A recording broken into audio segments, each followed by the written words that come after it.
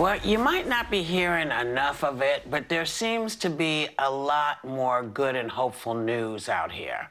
Can you hold on to this? We want to highlight some of it every day.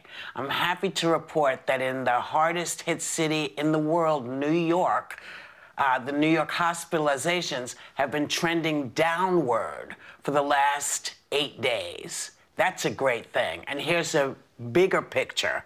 Uh, pollution levels are now down by 30% across the Northeast. Check out, you know, the um, the imaging NASA just released that reveals the substantial decrease in nitro, nitrogen levels across the big cities.